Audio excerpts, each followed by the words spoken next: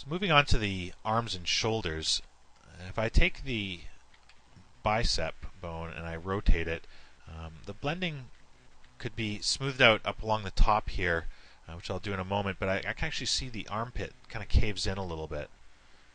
I'm not really crazy about that, so I'm going to use a bit of a small brush here, and I'm just going to take the smoothing. Uh, I have it back up at 100%. Um, just so you know, the smoothing opacity uh, works as an additive kind of a blend. So you notice if I smooth this area here, look at the color change. It's not that great. But if I increase the opacity and I smooth,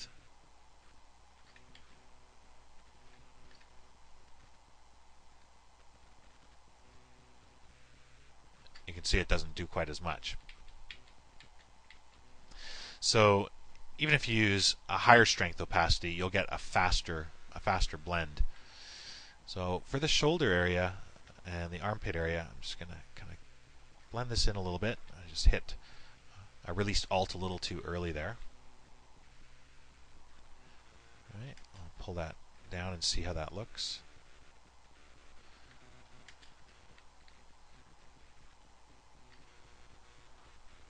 Something like that. Also, when you lower the arm of a character, it's not just a single uh, bone doing the movement, you're moving the entire shoulder and then the arm. So this hasn't been blended yet, but the movement actually looks looks pretty good. Or the blending looks pretty good, I should say. So I'll start blending in the shoulder here. I'll use a small brush blending at 50% opacity.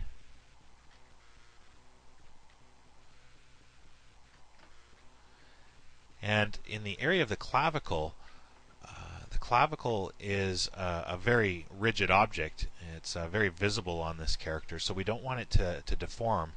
But just underneath the clavicle, uh, the skin will stretch a little bit. So I'll just put a blend on that, maybe take the brush up a little bit.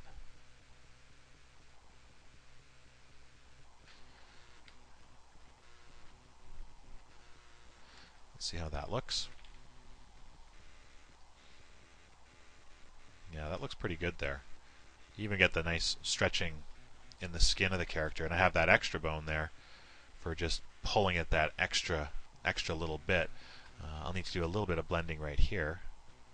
Uh, I've got quite a tightly packed group of vertices, so this should blend together pretty well.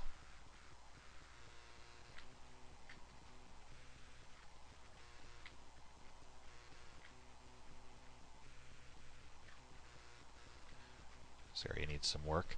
Uh, I'll return the character to the bind pose to, to fix this. So I'll just take what I've done so far and mirror it across to the other side. Um, grab everything to about here and mirror that across.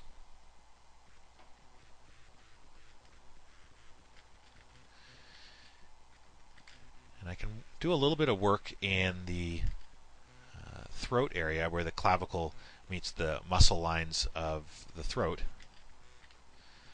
So a little bit of smoothing there could help.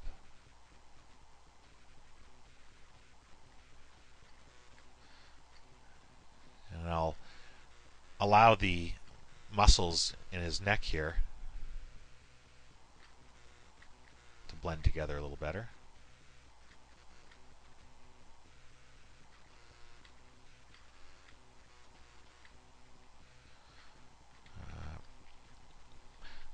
Blend a little stronger through the back. I'll just take some strokes right across the symmetry point of the character. And once again, just mirror across. Just middle click on the animate button to repeat last command. So if we have a look at the workings now, our shoulder pulls pretty high without caving in the neck at all. There's a little bit of smoothing that needs to be done here.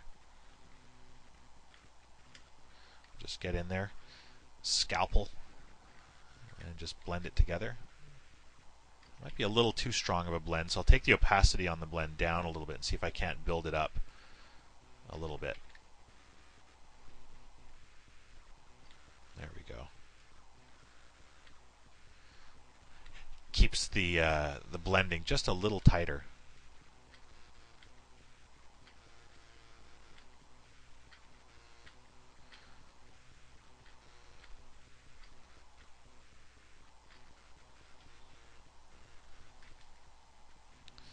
If we can't pull that shoulder up. And one of the goals, usually, of any kind of a, a pose test or a blend test is to get the character to lift his arms above his head. And if you can do that without any strange deformations, you can usually consider yourself successful. I think that is pretty successful.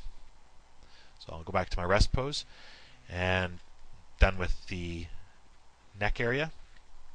So because I froze the last operator, I'll just uh, grab everything from here.